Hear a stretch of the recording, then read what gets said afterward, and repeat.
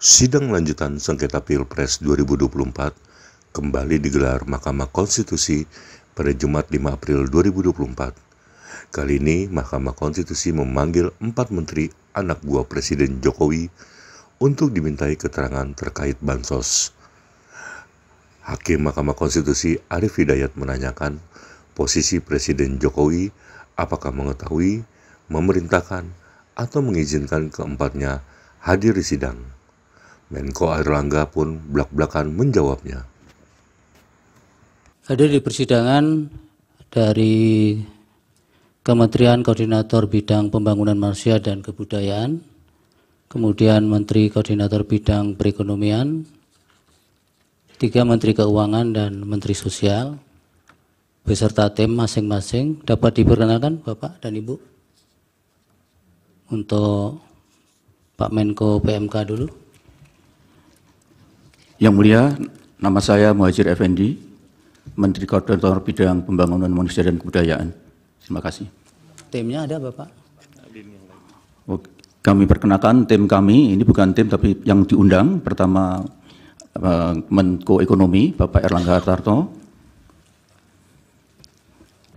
Kemudian Ibu Sri Mulyani, Menteri Keuangan.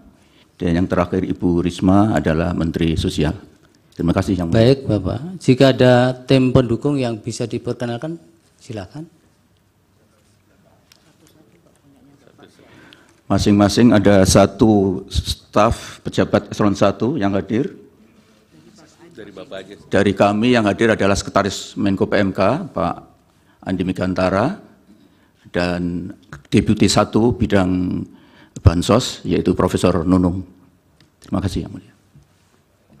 Terima kasih dari kantor uh, Menko Perekonomian Pak Susi, dari uh, Sesmenko dan Pak Ellen Setiadi dari Deputi. Terima kasih. Selamat pagi yang mulia dari Kementerian Keuangan, Sekjen Kementerian Keuangan Pak Heru Pambudi dan Dirjen Anggaran Bapak Isa Rahmatawarta. Silakan Ibu. Yang mulia dari Kementerian Sosial, yang hadir eh, Sekretaris Jenderal Kementerian Sosial Bapak Ruben Riko, staf khusus Menteri uh, Pak Don Rosano. Terima kasih yang mulia.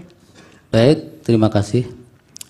Baik, uh, para pihak termasuk uh, para pemberi keterangan. Agenda persidangan. Baik, terima kasih Ketua.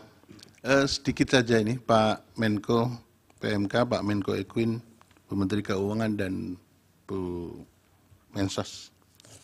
Ini penting supaya bagi kita penting juga ini. Bapak, Bapak dan Ibu hadir ke sini, itu atas perintah Presiden untuk menghadiri dengan penugasan atau dengan izin. Mohon bisa direspon dengan izin, dengan penugasan, atau dengan sepengetahuan Presiden. Terbuka saja, ini di sidang yang terbuka untuk umum, nggak ada masalah. Silakan Pak Menko. Pertama kami hadir di sini karena undangan dari Yang Mulia. Oke. Okay. Dari Mahkamah Konstitusi. Oke. Okay. Dan terhadap undangan tersebut, Bapak Presiden mengetahui. Oke. Okay. Memang Dan tembusannya sepengetahuan Bapak kita Presiden. tembusannya memang ke Pak Presiden. Ya, jadi itu sepengetahuan, sepengetahuan ya. Bapak Presiden karena undangan dari Yang Mulia Mahkamah Konstitusi. Mahkamah Konstitusi. Oke. Pak PMK juga begitu sama ya. Ya aman sama kan Pak? Sama yang mulia. Iya. Bu Menteri Keuangan sama ya. Bu Mensos mengenai substansi yang harus disampaikan di sini. Itu sepengetahuan Presiden atau tidak? Arahan Bapak Presiden untuk menyampaikan semua sesuai Apa dengan adanya. tugas dan fungsi masing-masing gitu ya. kementerian seluas-luasnya. Oke, terima kasih Pak. Saya kembalikan Pak Ketua. Baik, silakan Prof. Saldi. Terima kasih. Eh, ini sebagai catatan saja ya untuk kita semua termasuk terutama untuk Pak Menteri dan Bu Menteri. Jadi yang kami tanyakan tadi itu semuanya bersangkut dengan dalil yang ada dalam permohonan. Jadi nanti itu akan membantu kami mahkamah untuk mengambil posisi mahkamah di mana. Nanti susunan struktur jawabannya kira-kira begini. Ini dalil pemohon, itu kemudian dijawab oleh termohon, kita akan jelaskan apa jawaban termohon, kemudian apa yang dijelaskan oleh pihak terkait, kita akan ambil, apa yang, yang dijelaskan oleh Bawaslu.